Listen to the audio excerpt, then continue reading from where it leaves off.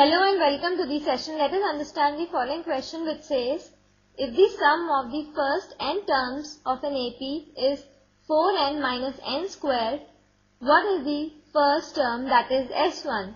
What is the sum of first two terms? What is the second term? Similarly, find the third, the tenth and the nth terms. Now let's proceed on to the solution. Sum of n terms of an AP is given to us as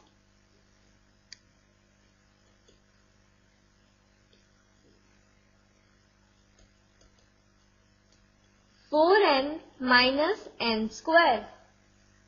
Therefore, S1 is equal to, substituting n is equal to 1, in the given sum we get 4 multiplied by 1 minus 1 square which is equal to 4 minus 1 which is equal to 3. Therefore, first term that is S1 is equal to 3.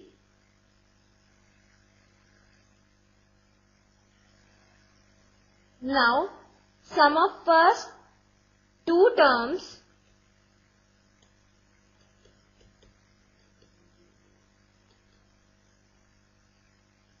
that is S2 is equal to substituting n is equal to 2 in the given sum we get 4 multiplied by 2 minus 2 square which is equal to 8 minus 4 which is equal to 4.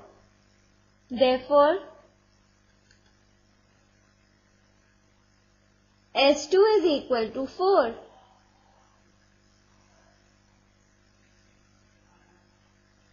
Now let us find the second term.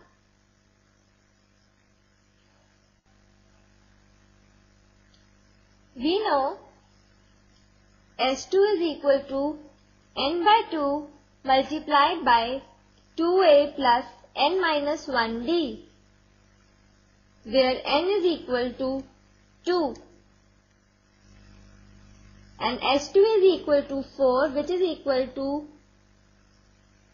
2 by 2 multiplied by 2 multiplied by a which that is our first term which is equal to 3 plus 2 minus 1 multiplied by d. Here we can see that we have only one unknown that is d. So 2 and 2 gets cancelled.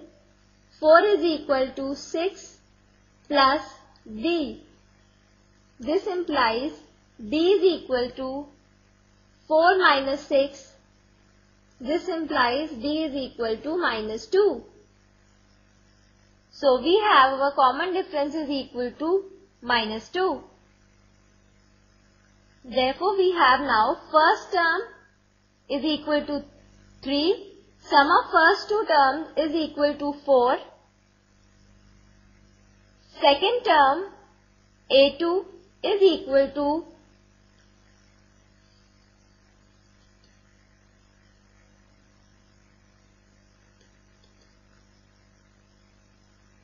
S2 minus S1 which is equal to 4 minus 3 which is equal to 1. Therefore, second term A2 is equal to 1.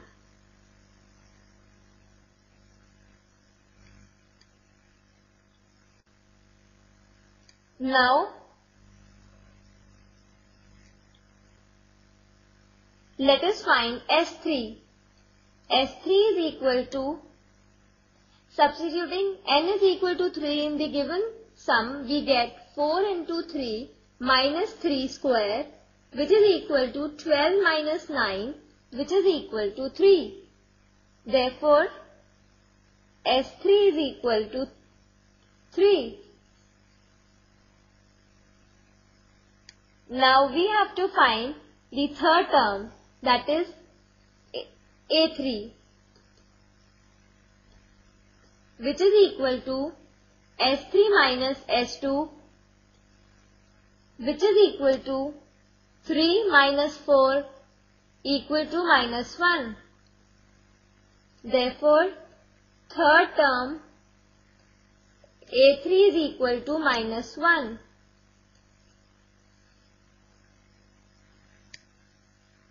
Now we have to find the tenth term.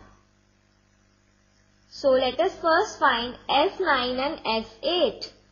S9 is equal to substituting n is equal to 9 in the given sum we get 4 into 9 minus 9 square which is equal to 36 minus 81 which is equal to minus 45. Therefore, S9 is equal to minus 45. Now let us find S10. S10 is equal to, again substituting n is equal to 10 in the given sum, we get 4 into 10 minus 10 square which is equal to 40 minus 100 which is equal to minus 60. Therefore, S10 is equal to minus 60.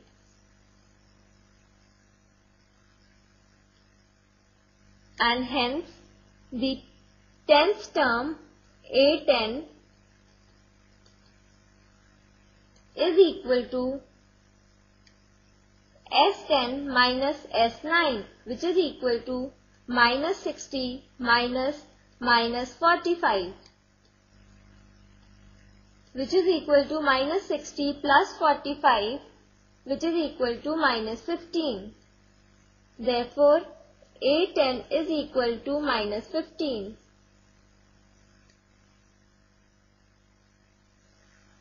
Now we have to find the nth term.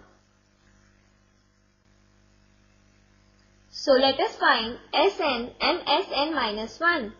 Sn is given to us as 4n minus n square and Sn minus 1 is equal to substituting n. As n minus 1 we get 4 into n minus 1 minus n minus 1 the whole square which is equal to 4n minus 4 minus n square plus 1 minus 2n which is equal to 4n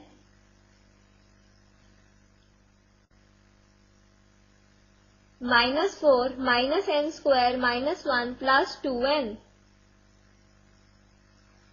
which is equal to 6n minus 5 minus n square. Therefore, an the nth term is equal to Sn minus Sn minus 1 which is equal to 4n minus n square minus 6n minus 5 minus n square which is equal to 4n minus n square. Now opening the brackets minus 6n plus 5 plus n square minus n square and plus n square gets cancelled. So we get 4n minus 6n is equal to minus 2n plus 5 which is equal to 5 minus 2n and hence the nth term an is equal to 5 minus 2n.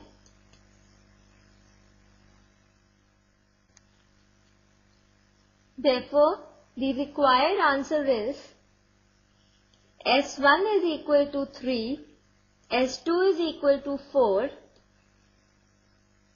A2 is equal to S2 minus S1 which is equal to 1, S3 is equal to 3, A3 is equal to S3 minus S2 which is equal to minus 1,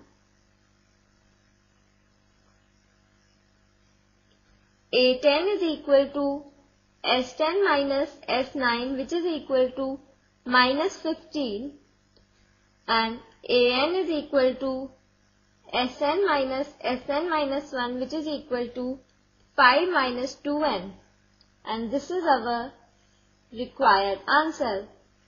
I hope you understood this question. That's all for the session. Bye and have a nice day.